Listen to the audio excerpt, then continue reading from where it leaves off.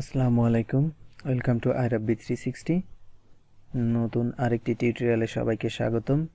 আজকের টিউটোরিয়ালের বিষয় সিএসএস এবং সিএসএস থ্রির মধ্যে পার্থক্য কি? সিএসএস কি, কেন, কীভাবে, কী জন্য ইউজ করতে হয়, এ বিষয়ে অলরেডি আপনাদের ধারণা হয়ে গেছে। এবং এই সিএসএস এর কিছু ভার্সন আছে, কয়েকটা ভার্সন সেই ভার্সনের মধ্যে কি পার্থক্য? যেমন সিএসএস এবং সিএসএস থ্রির মধ্যে কি পার্থক্য? সেই বিষয় সম্পর্কেও অনেকেই হয়তো জানেন, আবার অনেকেই হয়তো জানেন না। সঠিক কী কী পার্থক্য আছে সেই বিষয়গুলোই আজ আলোচনা করব। তো চলুন শুরু করা যাক। শুরু করার আগে যারা এখনও আমার চ্যানেলটি সাবস্ক্রাইব করেননি, অবশ্যই আমার চ্যানেলটি সাবস্ক্রাইব করবেন এবং পাশের বেল আইকনটি বাজিয়ে দিবেন।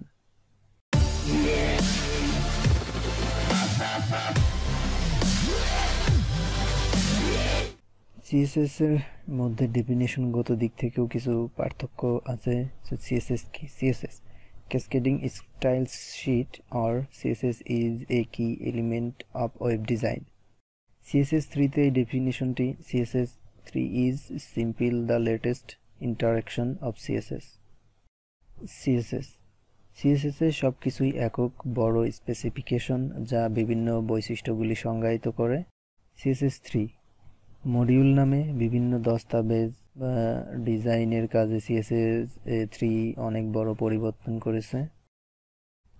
রাউন্ডেড বর্ডার্স সিএসএস এর মধ্যে রাউন্ডেড বর্ডারের কোনো বৈশিষ্ট্য নাই। সিএসএস থ্রিতে রাউন্ডেড বর্ডারের কাজ খুব সহজেই করা যায় এবং খুব সুন্দরভাবে বৃত্ত তৈরি করা যায়। বর্ডার ইমেজ বা টেক্সট শেডো সিএসএস এর মধ্যে বর্ডার ইমেজ টেক্সট শেডো সম্পূর্ণই অনুপস্থিত। সিএসএস থ্রিতে বর্ডার ইমেজ টেক্স শ্যাডো খুব সুন্দরভাবে কাজ করে এবং খুব স্টাইলিশভাবে এটা তৈরি করা যায়। মাল্টিপল ব্যাকগ্রাউন্ড সিএসএস একাধিক ব্যাকগ্রাউন্ডের জন্য চারপাশের একক ব্যবহার করা হতো। এবং সিএসএস থ্রিতে সর্বশেষ রিলিজকৃত সিএসএস থ্রি সরাসরি একাধিক ব্যাকগ্রাউন্ড নিয়ে কাজ করে। সবশেষে আমরা বলতে পারি ওয়েব ডেভেলপার এবং ডিজাইনারদের জন্য সিএসএস থ্রি জীবনকে অনেক সহজ করে তুলেছে। কিন্তু আপনি যদি সিএসএস না জানেন, তাহলে সিএসএস থ্রি এর মাস্টার হতে পারবেন না। তো অবশ্যই আপনাকে আগে সিএসএস সম্পর্কে সঠিক এবং ভালো জ্ঞান থাকতে হবে।